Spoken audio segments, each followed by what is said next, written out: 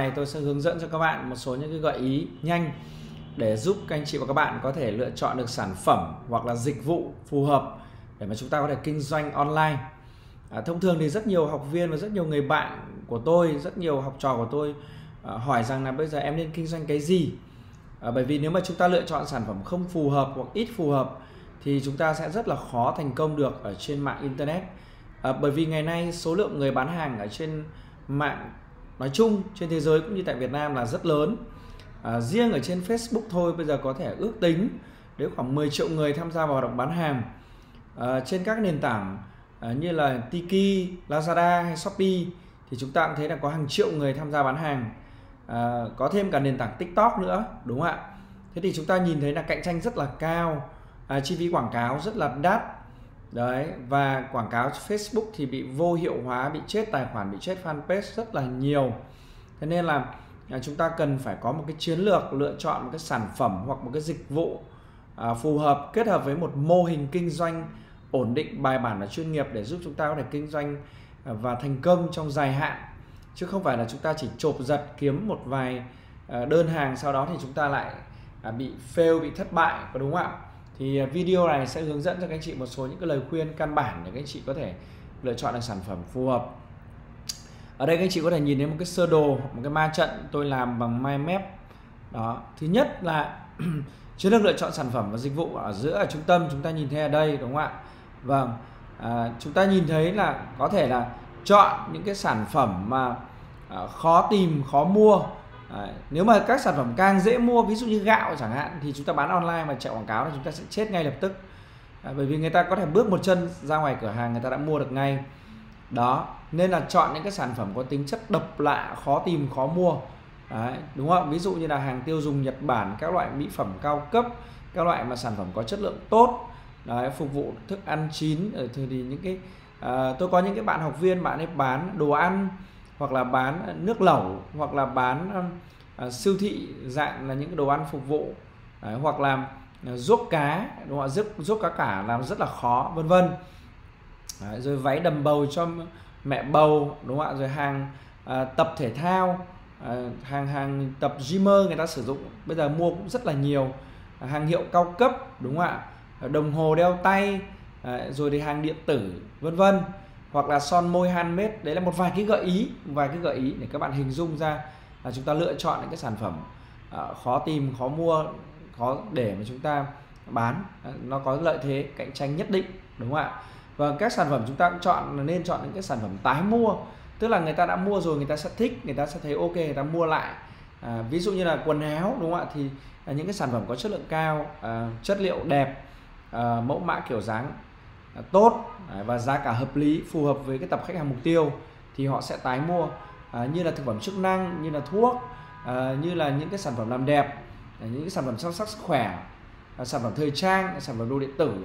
Bằng chứng là ví dụ như Apple đúng không ạ? Các bạn thấy là kể cả tôi đang dùng iPhone 13 ở đây thì chúng ta cũng có thể là đang chuẩn bị mua iPhone 14 bởi vì làm chúng ta thấy là sản phẩm đấy chúng ta thỏa mãn được cái cái ờ, nhu cầu và như thế thì chúng ta sẽ có à, muốn tái mua tái mua tiếp tục à, và các cái vòng đời sản phẩm chúng ta phải liên tục đổi mới thì người ta mới tái mua.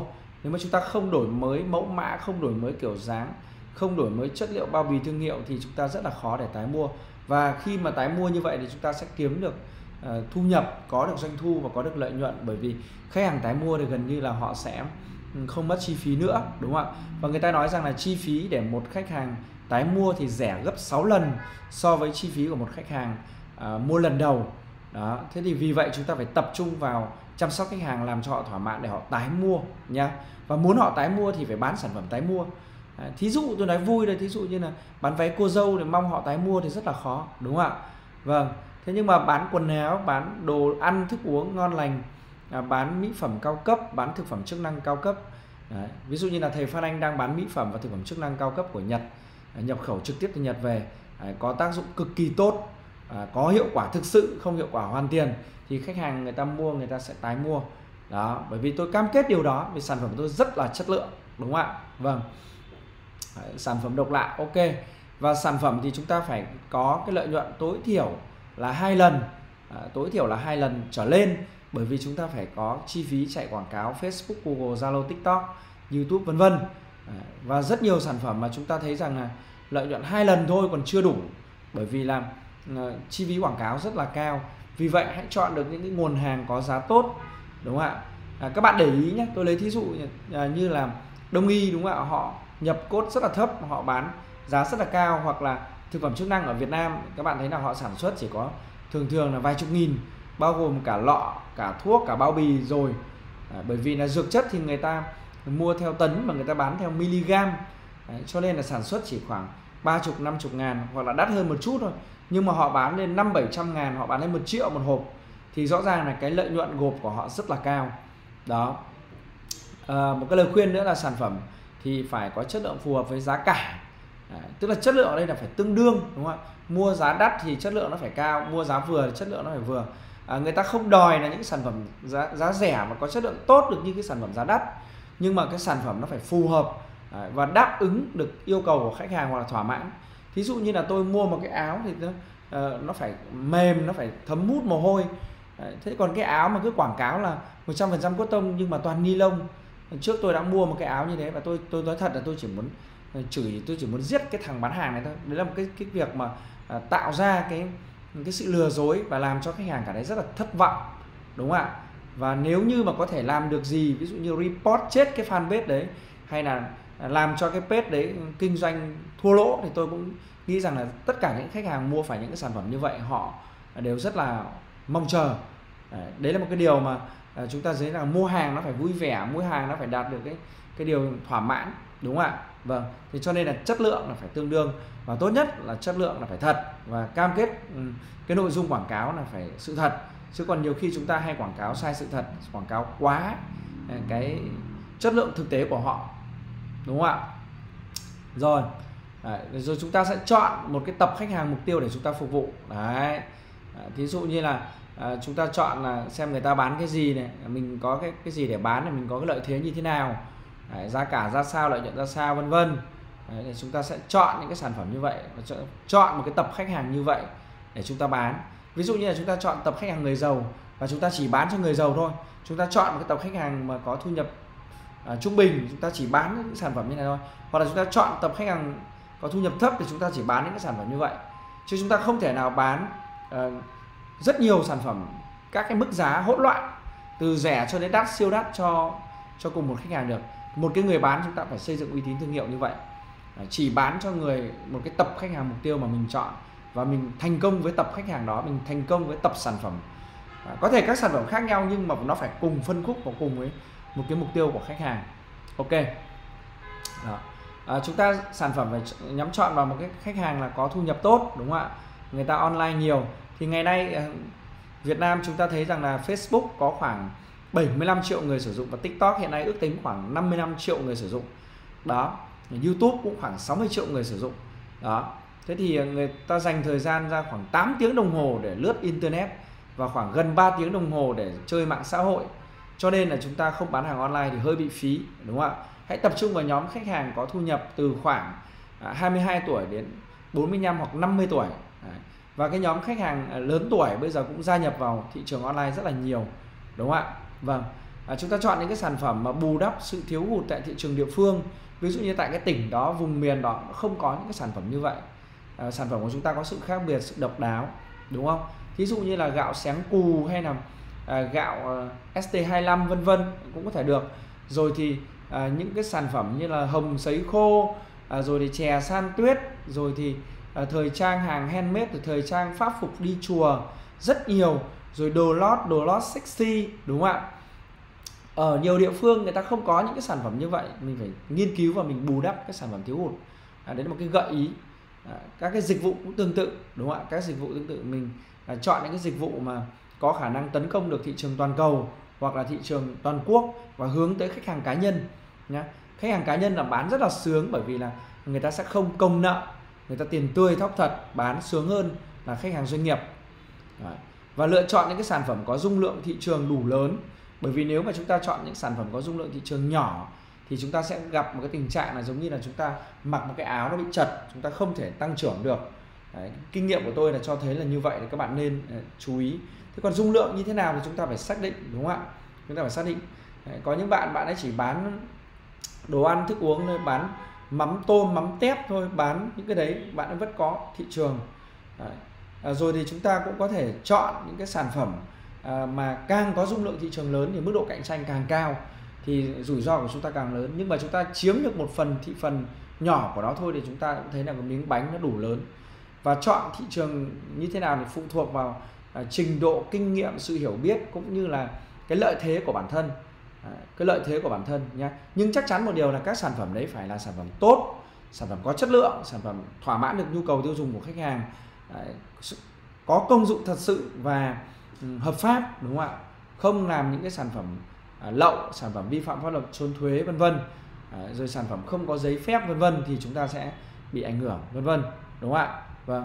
À, chọn những cái sản phẩm có mức giá dao động khoảng từ 300 ngàn đến 800 ngàn thì đây là cái mức giá mà dễ bán ở trên internet. Còn tất nhiên cao hơn thì vẫn bán được nhưng mà cái tỷ lệ mua nó thấp hơn một chút. Và càng cái đắt càng đắt thì cái tỷ lệ người mua nó càng thấp. Nha nói chung là dao động khoảng một triệu đổ lại là đẹp. Đó à, chúng ta cũng chọn những cái sản phẩm thích nghi với ờ, xu hướng và tính chất mùa vụ. Ở Việt Nam thì kinh doanh nó có tính chất mùa vụ rất nhiều. À, thời trang thì vào mùa đông người ta sẽ mua nhiều hơn à, du lịch thì người ta sẽ đi vào mùa hè. À, thế thì chúng ta cũng có thể bán là mùa nào thức đấy. À, thì miễn là chúng ta bán được hàng và có thu nhập nhá. Miễn là chúng ta bán được hàng. Và chúng ta tập trung vào các yếu tố về chuyên môn à, chăm sóc sức khỏe rồi thì dịch vụ khách hàng dịch vụ trước bán trong bán và sau bán. À, cách thức tư vấn khách hàng thật là tốt. À, À, sản phẩm có lợi thế về sản xuất nếu mà chúng ta là nhà sản xuất à, giá nhập được ưu đãi đúng không ạ? Được nợ tiền nếu có vân vân thì nó giảm rủi ro cho chúng ta. À, nên thận trọng à, kinh doanh nên thận trọng kinh doanh những sản phẩm là à, dễ mua dễ thấy dễ vỡ. À, thì như vậy rủi ro chúng ta sản phẩm công canh có chi phí vận chuyển cao. Đấy, à, rồi thì sản phẩm có date tức là cái hạn sử dụng ngắn ngày nhất là đồ tươi sống thì à, chúng ta sẽ thấy là nó hơi rủi ro cho chúng ta thì chúng ta nên thận trọng đúng không ạ? Vâng. Và chúng ta cần phải có quy trình à, nhập hàng à, bán hàng quản lý hàng tồn à, các công cụ kênh bán hàng như Facebook như Google như Zalo như website như TikTok vân vân. Thì à, các bạn cần phải học những cái công cụ đó để bán hàng. Rồi khi mà có sản phẩm tốt rồi thì phải biết làm thương hiệu làm bao bì làm nhãn mát đóng gói sản phẩm packing đấy à, rồi xây dựng thương hiệu cho nó đổi mới sản phẩm liên tục cho nó. Và tạo ra các chương trình giá bán chương trình chăm sóc khách hàng à, và chương trình à, bán hàng à, các công cụ bán hàng thật là tốt và tìm thêm những cái sản phẩm để bán chéo bán thêm nữa. Vâng thì đây là một vài cái gợi ý ngắn để cho giúp các anh chị các bạn có thể lựa chọn được sản phẩm hoặc dịch vụ để kinh doanh ở trên mạng. Và kết hợp với mô hình kinh doanh kết hợp với công cụ bán hàng như là Facebook, Google, Zalo, TikTok, YouTube, website, sàn thương mại điện tử, vân vân. À, rồi livestream, à, tất cả những cái công cụ như vậy thì à, các bạn có thể liên hệ với thầy Nguyễn Phan Anh, giảng viên đại học và một chuyên gia về digital marketing từ năm 2008 đến bây giờ để được tư vấn, trợ giúp đào tạo và huấn luyện. mọi thông tin liên hệ thì các anh chị có thể xem trên mạng Google search hoặc YouTube search sẽ thấy ngay ở địa chỉ là youtube.com sược PA Marketing PA có nghĩa là Phan Anh à, Facebook là địa chỉ là facebook.com sược Phan Anh Online và website là pamarketing.vn và nếu các bạn muốn mua hàng thực phẩm chức năng, hàng nhập và mỹ phẩm nhật cao cấp, có chất lượng và có sự cam kết đảm bảo hiệu quả thực sự và có hàng hóa, có giấy tờ đầy đủ, có chứng nhận lâm sàng đầy đủ, thì các bạn vào địa chỉ là pastore.vn PA là tên tôi, store là cửa hàng đó .vn Vâng và số điện thoại của tôi là 0989 623 888 0989 623 888 số này tôi dùng từ năm 2005 đến bây giờ tức là 17 năm rồi. Đấy, các bạn cứ yên tâm nhé à, email cũng như vậy phananhonline.gmail.com Vâng một lần nữa xin được cảm ơn các anh chị và các bạn đã theo dõi video bài học này. Xin chào bye bye.